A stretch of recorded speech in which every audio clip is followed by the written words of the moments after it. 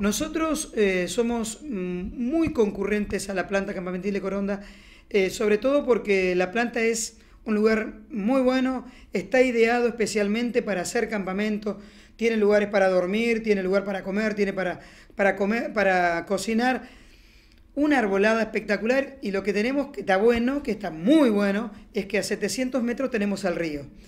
y es un ecosistema que por ahí nosotros no conocemos, como tampoco conocemos todo lo que hace al entorno de la, de la industria de la frutilla, al entorno de la industria del pescador, del pescado, de los frigoríficos y demás. Y todo ese tipo de temas se tocan en la planta campamentil de Coronda. Eh, el único problema que tenemos con la planta campamentil es que hay muy pocos lugares porque todo el mundo quiere ir. Así que a principio de año hay que estar muy atento cuando abren la inscripción, de manera tal de que podamos tener otro lugar durante el año pero como nosotros somos muy, muy concurrentes, siempre un poquitito antes o después de cuando la pedimos, eh, tenemos el lugar y bueno, cuando podemos ir lo aprovechamos. Ahora, por ejemplo, de paso te doy un adelanto, 13, 14 y 15 nos vamos con chicos de séptimo grado, de agosto, nos vamos con chicos de séptimo grado y hacemos una integración entre la Escuela Mariano Moreno y la Escuela de San Carlos Sur,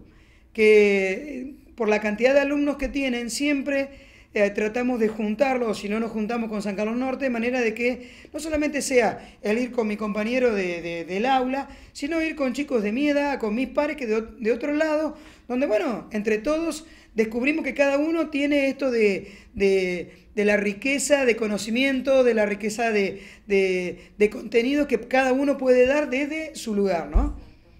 Isabel, en otro orden de cosas, ¿el Centro de Educación Física sigue funcionando siempre en el mismo lugar? ¿Cómo arrancan este año ustedes también en relación a lo edilicio? Mira, el Centro de Educación Física hace ya muchísimos años que está funcionando dentro del Club Central, porque eh, una de las falencias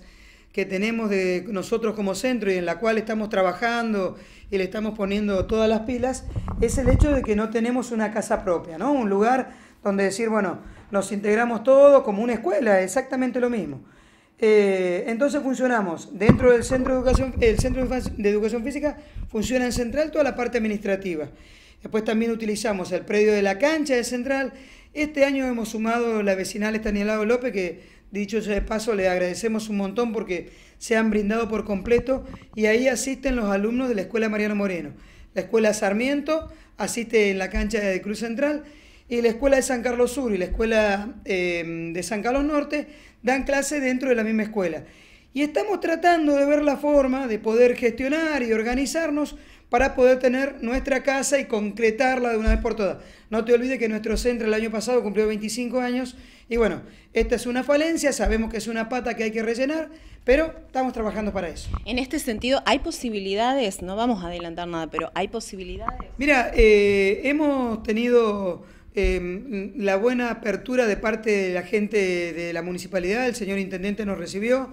nos ha hablado de un proyecto que está en funcionamiento. Bueno, no queremos adelantar nada antes, porque viste esto, hablar antes de que nazca es complicado. Entonces vamos a esperar a ver si esto se puede gestar, pero bueno, hay una muy buena movida y, y una muy buena acogida de parte de, del Centro de Educación Física, de los profesores y la gente relacionada porque realmente se necesita. Y si podemos concretarlo, yo creo que va a ser un paso muy importante en lo que hace a la educación para los chicos en educación física. Eh, ¿Cuántos integrantes en el Centro de Educación Física en relación a los que, profesores que, bueno, que dan clase? Nosotros somos nueve profesores que estamos trabajando en las distintas escuelas, inclusive, mira, ya me estaba olvidando, la escuela 2040 también este año se integró al grupo y tenemos unas cuantas horas, los chicos eh, van a, los profes van a trabajar allá con los chicos y también tenemos un grupo que también hace natación en el set. O sea que fíjate vos que cada vez que hablamos agregamos una poca, un poco más porque un poco como para que nosotros estamos acostumbrados, pero realmente la gente no entiende el alcance que tiene nuestro centro. Nuestro centro, este, tomando todos los alumnos que estamos eh, atendiendo, llegan aproximadamente a 1.500 chicos. O sea, está bien, no son eh, alumnos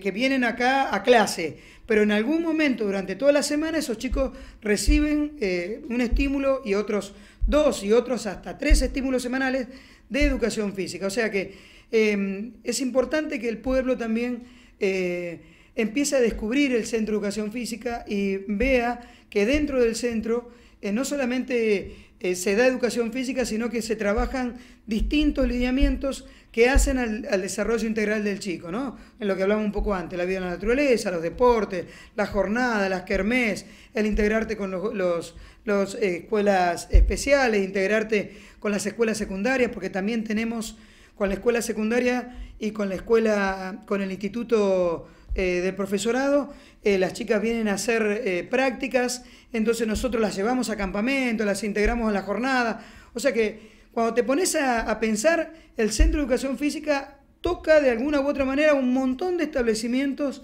que hacen a la educación en San Carlos, ¿no? Y parecería que no existe. Así que bueno, estamos peleando por ese lugarcito para que vean de que tenemos un lugar y que empiecen a ver que cuando juntemos todos los alumnos en un contraturno en ese lugar, son aproximadamente 600 chicos que van a estar eh, utilizando las instalaciones. O sea, eh, es un número bastante considerable, ¿no?